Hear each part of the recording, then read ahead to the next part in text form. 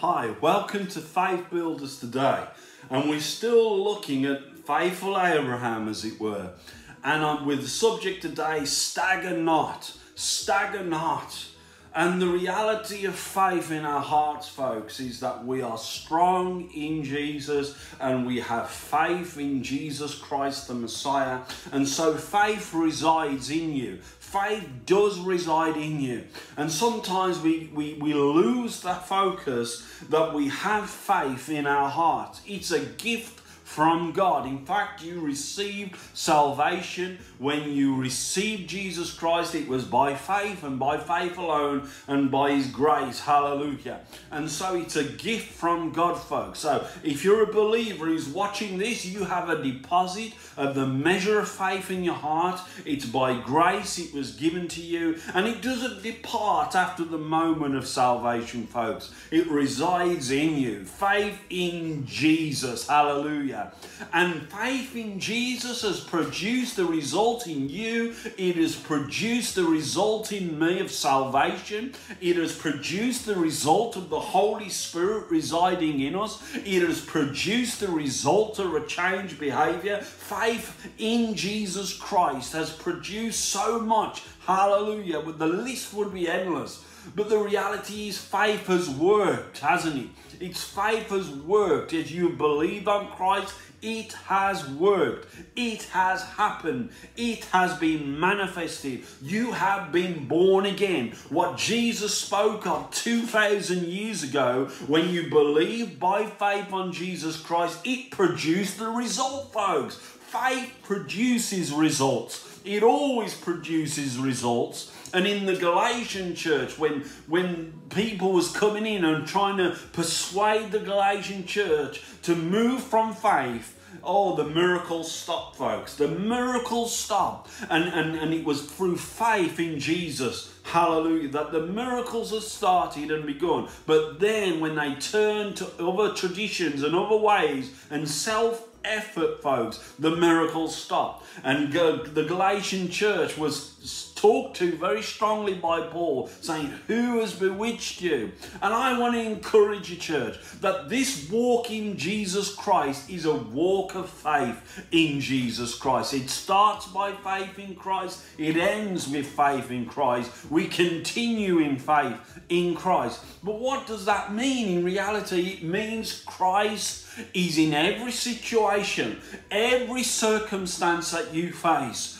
He is with you. He isn't just with you in church so you have faith there or an expression or you put your good face on and your good smile and you act all bold in faith. But when you go home to the, the husband or you go home to the wife or your kids or a situation or the work situation or the financial situation or the health situation and you're in turmoil, Jesus Christ is present in you, in you all folks. And we are to live not by sight, by faith. Hallelujah.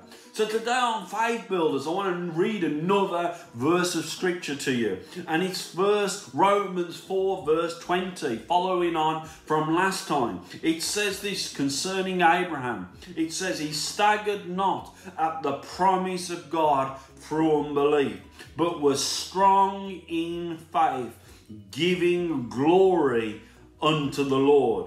Hallelujah. And so today's faith builder is stagger not. Last time we said consider not, but today we're looking at stagger not. Hallelujah. And stagger, oh my word, to me it gives a picture of stumbling, you know, where you're staggering and, and stumbling. Hallelujah. But the reality is that for, for Abraham, you know, sometimes I ask the question, and I asked the question of the Lord once because when you read in Genesis, because this is in Romans, when you read in Genesis of the life of Abraham, even though he had the promise, he in my mind, he seemed to stagger a lot He, you know, he lied to the Pharaoh. He went into the servant girl to, to get her pregnant at, at his wife's request. And so, to me, doesn't that sound like a lot of staggering when God had promised that Abraham would have a child and that he would have a child through Sarah? doesn't it seem, through, as you read his life before he had his child, how he, how he tried to do things his own way and he seemed to stagger? But the reality is, folks, the Bible's very clear that Abraham staggered not at the promise of God, and Abraham didn't. Abraham believed totally that he would have a child, that he would he would have a seed, and through his seed the Messiah would come and bless all the nations of the earth. He totally believed it. And isn't that true of us sometimes where we're in a situation, we know what God's word says in a situation of our life, whether it's finances, whether it's health, whether it's our family situation, whether it's our job situation, um, and we know what the word says, and we say, Yes, I believe what the word says. But in, when we're in the situation, our the turmoil of our emotions, our minds are going all over the place. We have the pictures in our mind of the worst things possible and the worst possible outcomes, and we get very worried and very afraid. And it seems like we're staggering at the promise of God. But sometimes there's two aspects to this, folks. Abraham staggered not at the promise of God. And that word stagger means he didn't hesitate, he didn't doubt, he had no variance. What does variance mean? He wasn't basically double minded or double hearted.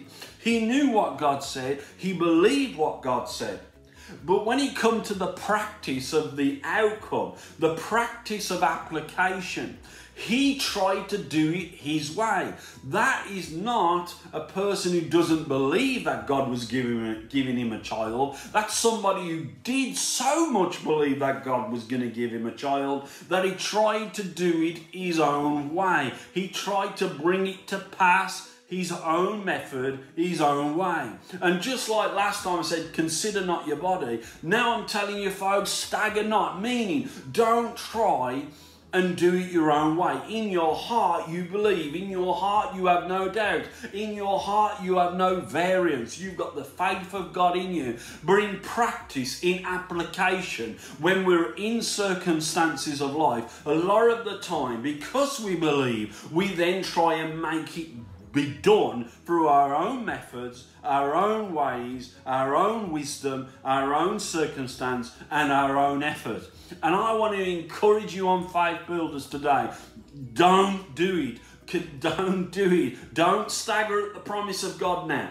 Keep in faith, keep releasing your faith, not only through your mouth, but through your actions according to God's truth according to God's word, according to God's wisdom, not according to our own minds, our own thinking, our own desires, our own ways. That we try to do it through self effort. This ain't about self effort, folks. This is about what God has promised to you. And when you act in faith, it happens, it manifests, it will happen. It will bring a result, folks, not through the works because Abraham tried to do it his own way. He went into the servant girl and he got her pregnant and he had Ishmael. And that caused problems for Israel even to this day.